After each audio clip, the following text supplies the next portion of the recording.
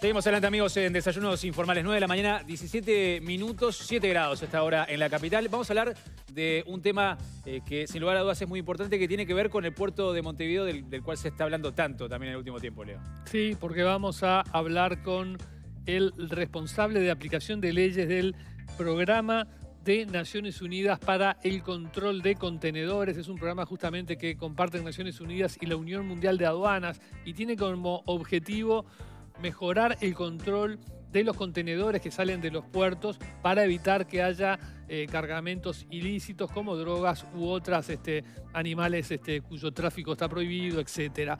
Ese programa está presente en 17 países. Uruguay había pedido sumarse en el gobierno anterior de Tabaré Vázquez, pero por ausencia de un financiamiento no lo había logrado eh, implementar en el puerto de Montevideo porque este programa siempre lo financia un país desarrollado. Ahora Estados Unidos ha manifestado interés en financiar la, la, implementación de este programa en el puerto de Montevideo y ya estamos en contacto en Viena con Bob Vandenberg, eh, responsable de la aplicación global de este programa y experto en leyes del programa. Bienvenido, Vandenberg. Hola, muy buenos días. Buen día. Buenos días. Buen día, buen día. Gracias por atendernos desde Viena. Eh, ¿Cómo está eh, el, el, estado actual de el, la llegada de este programa a Montevideo? ¿Cuándo podríamos esperar que comience a funcionar? No, hola, buenos días a todos. No, en primero, uh, por ser parte de este programa, uh, bueno, siempre preguntamos una carta de interés al país mismo, ¿no? Porque sin el interés y, y el apoyo del país sería complicado para implementar el programa.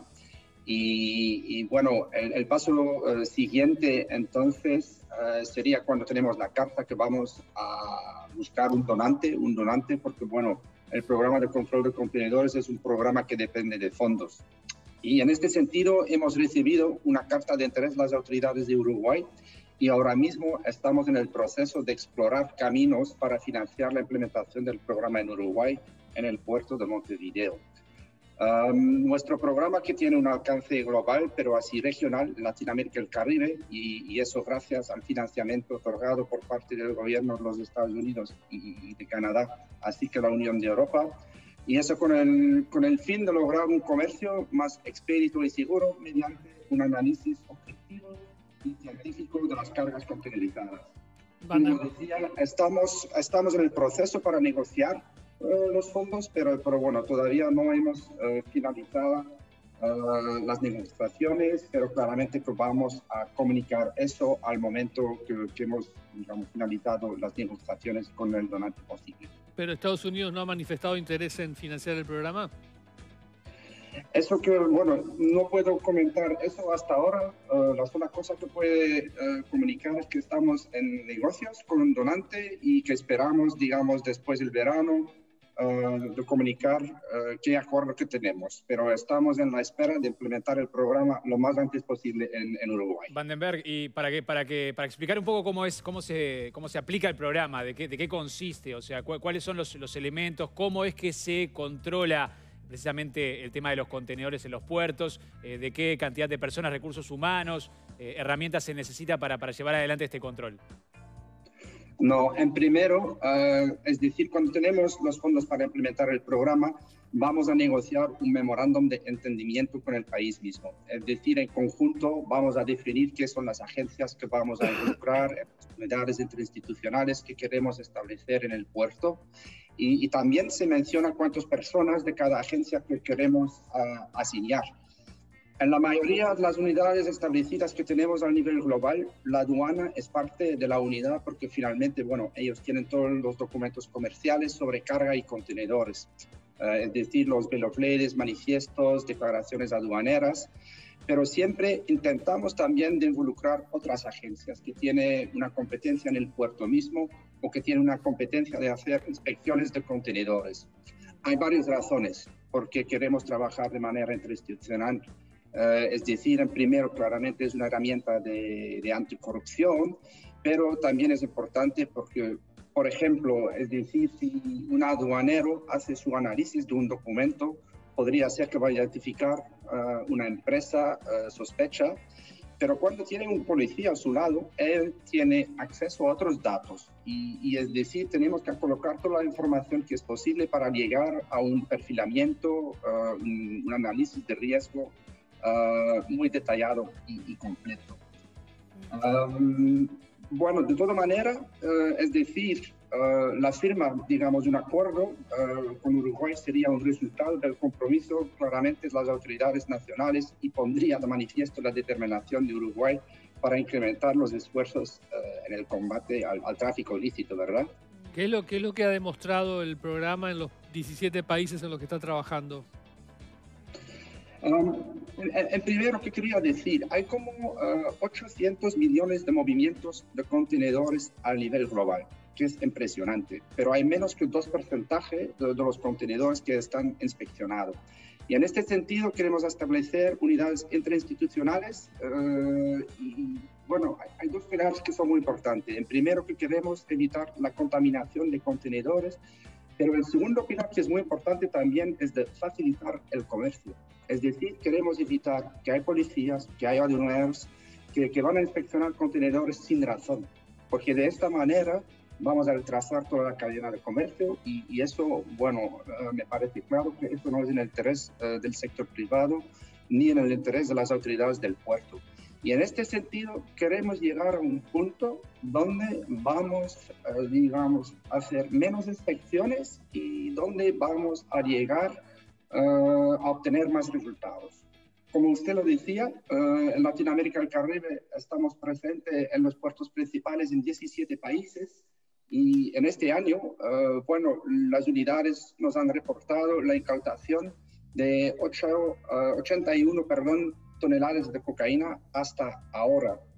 Pero bueno, eh, como lo decía, se destaca la incautación de 830 toneladas de cocaína, que es mucho, pero también tenemos como casos de incautaciones de, de bienes que atentan contra la propiedad, propiedad intelectual, pero también tenemos contenedores incautados con productos químicos, eh, precursores, eh, pasta de cocaína, heroína, marihuana, eh, productos falsificados, pero así que como armas, municiones, CITES, que es como fauna y flora protegido, así que dinero declarado.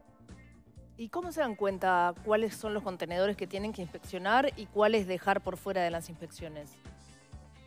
Bueno, es decir, uh, nuestro programa tenemos como un equipo de, expertos internacionales, uh, entrenadores, y ellos han desarrollado un paquete uh, de capacitación estandarizada. Es decir, es como un ciclo, ¿no?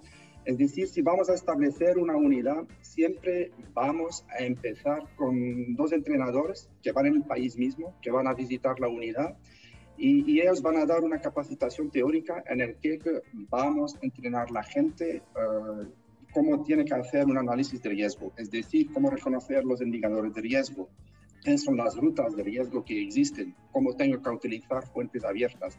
Entonces, todo eso eh, se va en una capacitación teórica. Uh, para después, bueno, otra vez hay dos de nuestros expertos que, que van a visitar uh, otra vez la unidad para trabajar con ellos, pero más práctica. Es decir, vamos a capacitar, capacitar, capacitar uh, eh, la gente eh, en este sentido, eh, cómo puede reconocer una manipulación de un sello de un contenedor, cómo puede reconocer que, posiblemente hay como un espacio ocultado en la estructura de un contenedor, cómo puede ver si, si vamos a abrir las puertas de un contenedor, la manera que lo han cargado, que, bueno, que algo sospecho.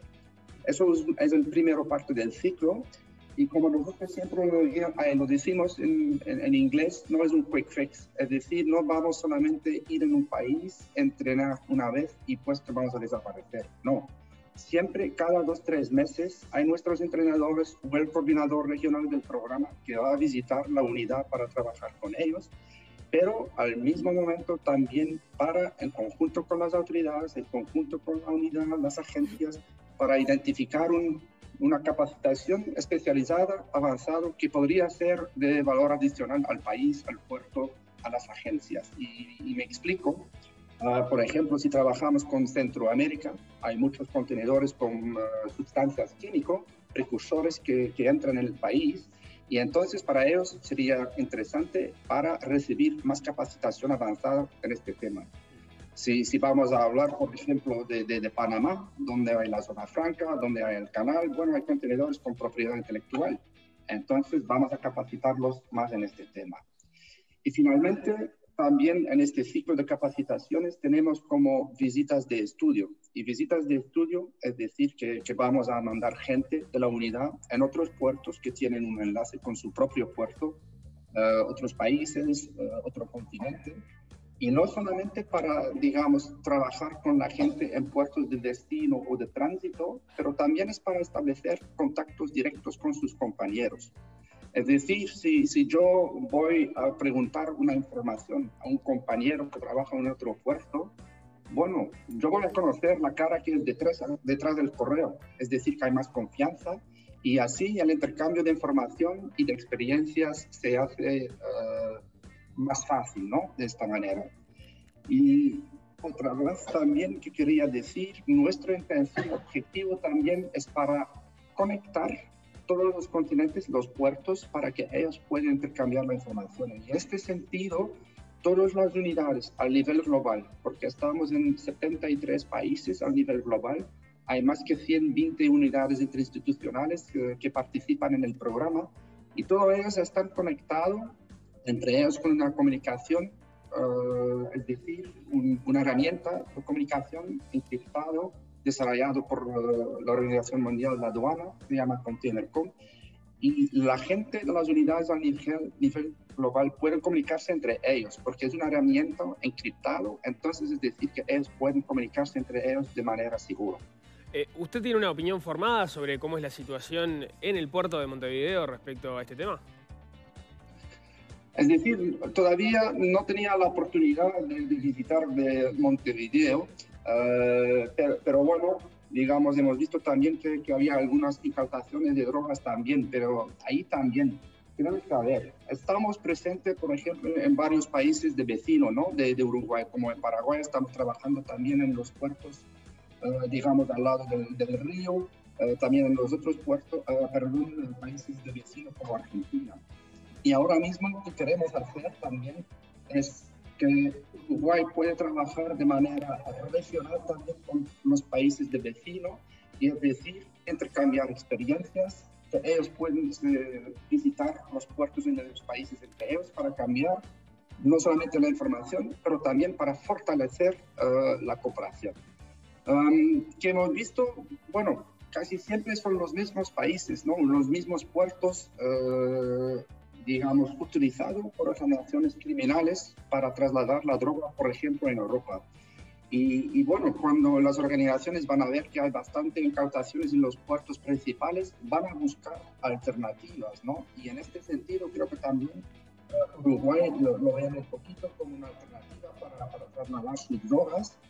Y, Igual en los puertos de destino, me explico, por ejemplo, el puerto de Amberes en, en Bélgica, que es como, digamos, una entrada también por contenedores con droga.